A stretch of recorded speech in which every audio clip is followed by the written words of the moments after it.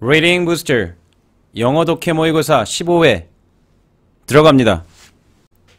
1회 24번 지문입니다. 꽃이 벌을 끌어들이는 방법 변형 포인트는 어휘, 어법, 빈칸, 순서, 삽입 모두 가능한 지문이니까 변형 포인트만 필요하신 분들은 timestamp 기능 활용하셔서 건너 띄워주십시오. Looking at various flowers 다양한 꽃들을 바라보면서 우리가 바라보는 거죠. We feel relieved. 우리는 안도감을 느끼고 and want them to flourish forever. 그들은 당연히 앞에 있는 flowers 받으면 되겠죠. 우리는 그 꽃들이 영원히 flourish 하기를 바란다. 번영한다. 지지 않기를 바란다는 얘기죠. Can it be possible? 그것이 가능할까요? 꽃들이 to flourish forever 하는 걸 의미하는 거겠죠. Scientists have recently discovered that 과학자들이 최근에 발견했습니다. that 이하를 동사 다음에 나오는 that은 접속사겠죠. 물론 확률입니다.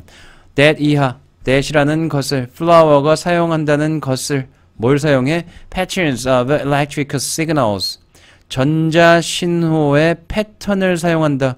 특정한 양식이죠. 언어도 일종의 패턴이죠. 전기 전기 신호를 전기 신호의 패턴을 사용한다. 뭐 하기 위해서? To heighten the flowers' attraction to insect like bees, the pollinators. 고조시키기 위해서 높이 높인다는 얘기입니다. 뭐 increase 증가시키다는 얘기겠죠. increase 뭐 꽃의 매력도를 꽃어 어, 화분 어, 화분 매개 수분 수분 매개자의 역할을 하는 벌과 같은 곤충에 대한 매력도를 높이기 위해서 사용하는 거죠.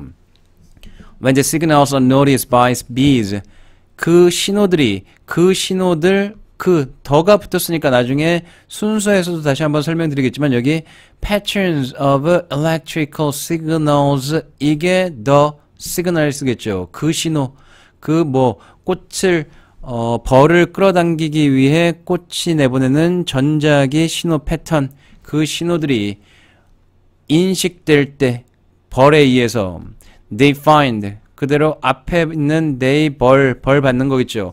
find and distinguish 알아차리고 구분하는 거죠. electric signals 전기 신호를 구분합니다. given 꾸며주겠죠. given out by flowers 꽃에 의해서 주어진 전기 신호를 Flowers also produce bright colors and nice fragrances to attract them. 꽃은 또한 생산합니다. 밝은 색깔과 그리고 nice 멋진 향기를 뭐하 뭐하기 위해서 그들을 당연히 그들은 그대로 bees 받으면 되겠죠. 벌들을 끌어당기는 꽃향기, nice 향기 이렇게 해주셔도 되고요. 끌어당기는 색깔, 끌어당기기 위해서 해도 되고요. 둘 다 가능하겠죠. When a bee lands on a flower, 벌 한 마리가 꽃에 앉을 때, 착륙할 때, the flower's potential for pollination changes. 여기 s가 붙는 이유는 potential에 맞춘 겁니다. 수분을 위한 꽃의 잠재력이 바뀝니다.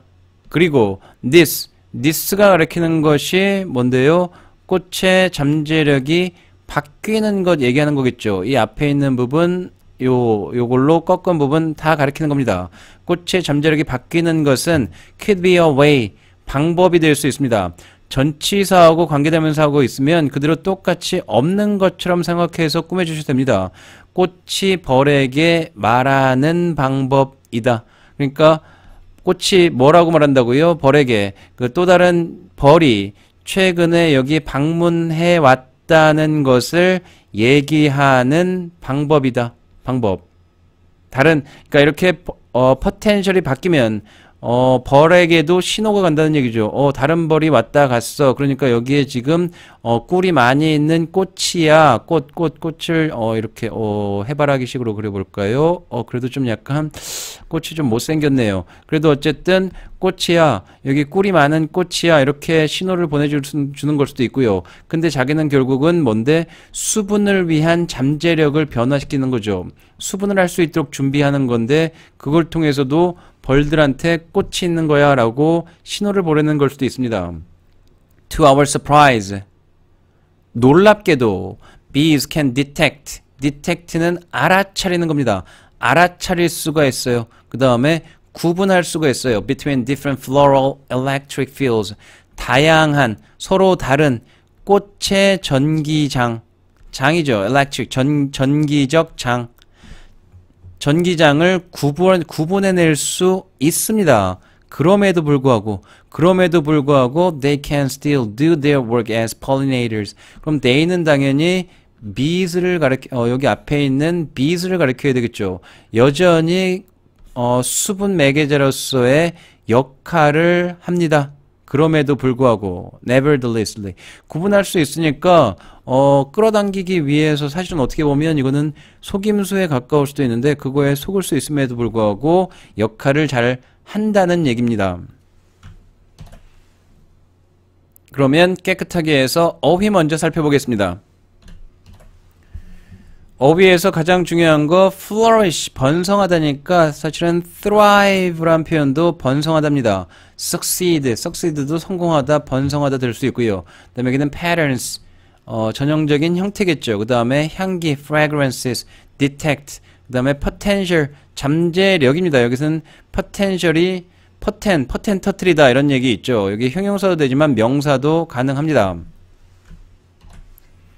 어법 다섯 개는 첫 번째는 looking 바라보면서 우리 기준이니까 우리가 지금 바라보면서입니다. 그러면 능동이겠죠. 우리가 지금 바라봐지는 거 수동이 아닙니다. 그러니까 ed 되면 안 됩니다. 그 다음에 여기는 아까 설명드렸듯이 동사 다음에 나오는 접속사 that 그럼 뒤에 있는 문장 use 기준으로 동사 기준에서 주어도 있고 그 다음에 목적어도 있습니다. 그럼 완벽하니까 뭐가 안 된다고요?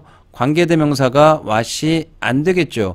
관계대명사라면 주어나 목적어 둘 중에 하나는 빠져야 되겠죠. 그러니까 주격 관계대명사 주어가 빠졌으면 주격 관계대명사 목적어가 빠졌으면 목적격 관계대명사가 되는 거겠죠.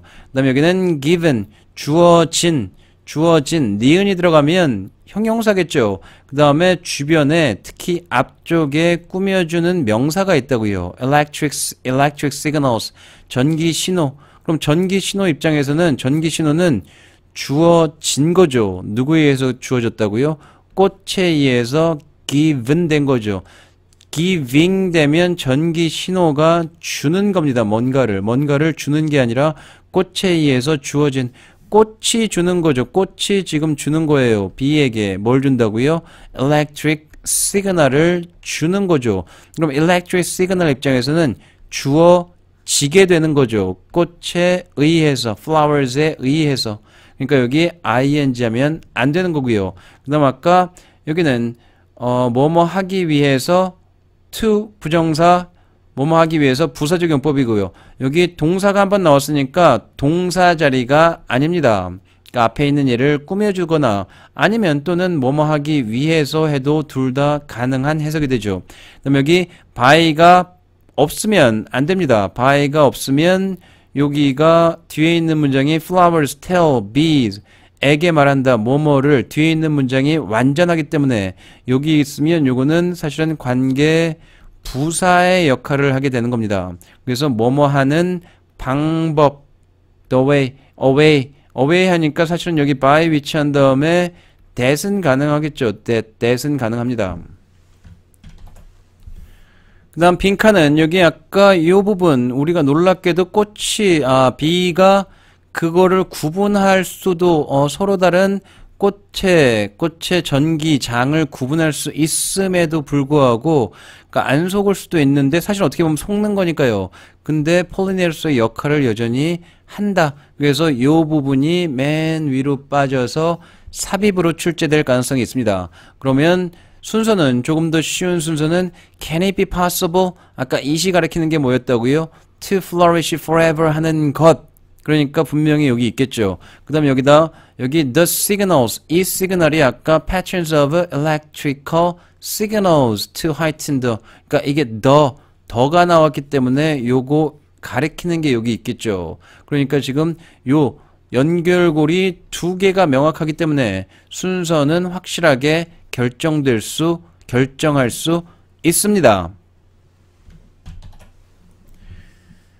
지문이 1회라서 그런지 조금 평이하기 때문에 어, 각 지문에 대한 어휘, 어법 잘 어, 공부해 두시고요. 그 다음에 영작 가능한 중요한 문장까지도 꼼꼼하게 미리미리 학습해 주십시오. 감사합니다.